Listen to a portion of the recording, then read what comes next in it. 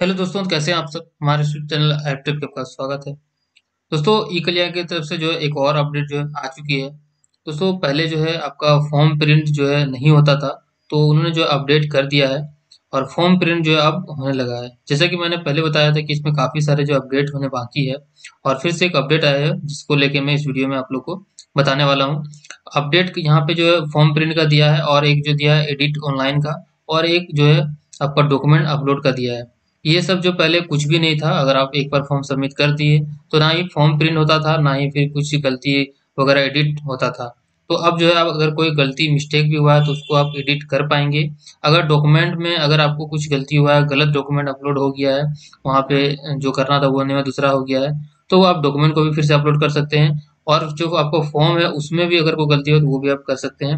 और अपना फॉर्म भी प्रिंट कर सकते हैं। और प्रिंट करके जो अपने कॉलेज वगैरह में भी आप जो है अपना जमा कर सकते हैं। तो इस वीडियो में देखेंगे दोस्तों, कैसे आप जो है अपना फॉर्म जो है वो एडिट करेंगे, कैसे डॉक्यूमेंट अपलोड करेंगे, कैसे प्रिंट करेंगे। तो चलिए दोस्तों, वीडियो को स्टार्ट करते हैं। दोस्तों, अगर आप हमारे चैनल है या फिर आपने अभी तक हमारे चैनल को सब्सक्राइब नहीं किए तो सब्सक्राइब कर ले और बेल आइकन को प्रेस करें ताकि हमारे वीडियो अब तक सबसे पहले पहुँच सके।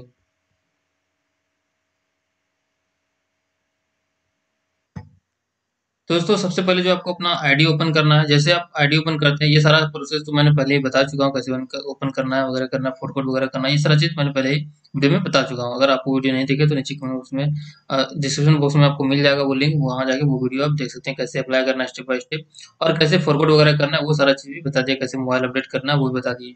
तो इसमें जो जैसे आप आईडी ओपन करेंगे तो यहाँ पे नीचे जब आते थे तो पहले यहाँ पे आपको ऑप्शन मिलता था और फॉर्म सबमिटेड सिर्फ़ ऑनलाइन सॉरी सिर्फ़ सबमिट फॉर्म सबमिटेड ऐसा वहाँ पे आपको सिर्फ़ मैसेज दिया जाता था। लेकिन अब जो यहाँ पे आपको तीन ऑप्शन देखने को मिलेंगे, एक प्रिंट है, एक एडिट ऑनलाइन है, एक अपलोड डॉक्यूमेंट ऑनलाइन ये है। तो पहला जो है दोस्तों प्रिंट प्रिंट का है, जैसे इस पर क्लिक करेंगे तो आपका जो फॉर्म है, जो आपने, जो फिलअप किया है, वो आपका फॉर्म यहाँ पे हो जाएगा। जैसे कि पहले आता था सेम उसी तरह, उसी फॉर्मेट में। एक चीज़ यहाँ पे और अपडेट किया गया है कि इस फॉर्म के साथ जो है आपको डॉक्यूमेंट वाला भी सेक्शन भी इसी में आपको मिल जाएगा। तो जैसा कि देख सकते हैं, पहले जो है ये नहीं दिया जाता था, ये अलग से हम लोग को निकालना पड़ता था अपलोड डॉक्यूमेंट के सेक्शन से। लेकिन अब जो है इसी फॉर्म में ही डॉक्यूमेंट को दिया है। हो सकता है कि आगे चल के इसको भी चेंज करके पहले जैसा था वैसे ही कर दिया जाए, लेकिन फ़िलहाल अभी इसमें भी जो है एक ही साथ इसमें दिया हुआ है।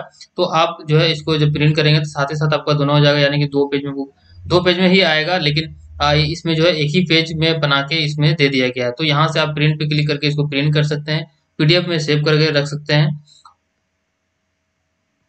और यहाँ पे जैसे पहले होता था, साइन का, उसी तरह यहाँ पे साइन भी दिया हुआ है, यहाँ पे माता पिता का साइन है।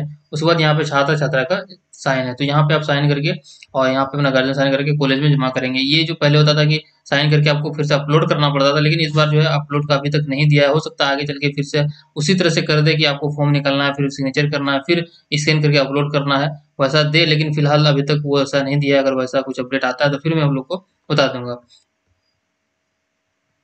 उसके बाद दूसरा यहाँ पे देख सकते हो तो एडिट ऑनलाइन है। ये एडिट ऑनलाइन आपका जो ऑनलाइन फॉर्म आपने जो फिलअप किया, उसका दिया हुआ है। फॉर्म में कुछ भी गलती हुआ है तो उसका आप यहाँ पे उसको सही कर सकते हैं। पहले तो यहाँ पे लोडिंग लेगा। लोडिंग यहाँ पे थोड़ा सा लेट लगता है लोडिंग लेने में। तो यहाँ पे लोडिंग लेने के बाद आपका फॉर्म ओपन होगा, जो आपने फिलअप किया है। तो जैसे देख सकते हैं, ये फॉर्म लोडिंग हो गया। एक से दो मिनट यहाँ पे टाइम लगता है, ये लोडिंग हो जाता है। तो यहाँ पे आपको जो है तीन सेक्शन मिलेगा। यहाँ पे आप देख सकते हैं, पहला सेक्शन जो है मैट्रिक टेंथ डिटेल दूसरा है पर्सनल डिटेल तीसरा है कॉलेज डिटेल तो अगर मैट्रिक टेंथ में कुछ मिस्टेक हुआ, गलती हुआ तो इसको आप फिर से यहाँ पे सही कर सकते हैं। सही करने के बाद ये कैप्चा यहाँ पे टाइप करके वेरीफाई वेरीफाई मोबाइल नंबर यहाँ पे करना है आपको get OTP get OTP click करेंगे तो ओटीपी आपके मोबाइल नंबर पे जाएगा, वहाँ पे ओ ओटीपी यहाँ पे डाल डाल के यहाँ पे, जैसे ओटीपी क्लिक यहाँ पे आपको सेक्शन भी आ जाएगा ओटीपी डालने का, वहाँ पे डाल के इसको वेरीफाई करेंगे, वो सही हो जाएगा अपडेट उसी तरह से पर्सनल डिटेल भी है। अगर पर्सनल डिटेल में कुछ भी मिस्टेक हुआ तो उसको आप सही कर सकते हैं। उसके बाद कॉलेज डिटेल है, अगर कॉलेज डिटेल मिस्टेक हुआ, काफ़ी सारे स्टूडेंट का जो होता है कॉलेज डिटेल में किसी और कॉलेज यहाँ पे सिलेक्ट हो जाता है तो उससे उस स्थिति में जो आप इसको सही कर सकते हैं। अगर पहले भी किसी का हो चुका है गलती तो वो भी आप इसको सही कर सकते हैं। इसी तरह यहाँ सही करने के बाद आपको जो भी आप सही करेंगे, आपको ओटीपी आप गेट भी करना पड़ेगा, नीचे जो उसको वेरीफाई करना पड़ेगा तो आपका जो है वो सही हो जाएगा। उसके बाद तीसरा चीज़ यहाँ पे अपलोड डॉक्यूमेंट ऑनलाइन का दिया है।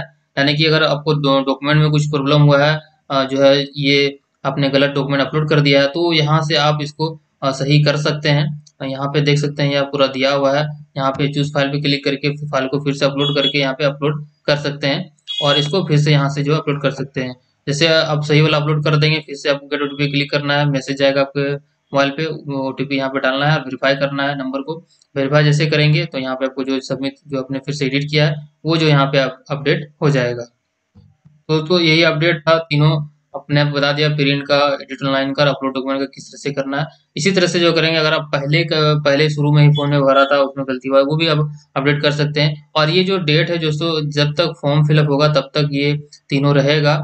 तब तक आप इसको अपडेट कर अपडेट कर सकते हैं। लेकिन आप एक ही बार अपडेट कर पाएँगे। यानी कि मान लीजिए एक बार आपने अपडेट कर दिया सबमिट फिर आप गलती कर दिए तो यहाँ पे दिक्कत हो जाएगा, क्योंकि यहाँ पे सबमिट आपको ले लिया जाएगा। तो आपको सावधानी करना है, जैसे कि आपने एक बार गलती किया तो दोबारा आपको जो है वो सही वाला ही करना है, नहीं तो हो सकता है कि आगे आपको वो फिर एडिट ना हो तो आपको ये ध्यान में रखना है।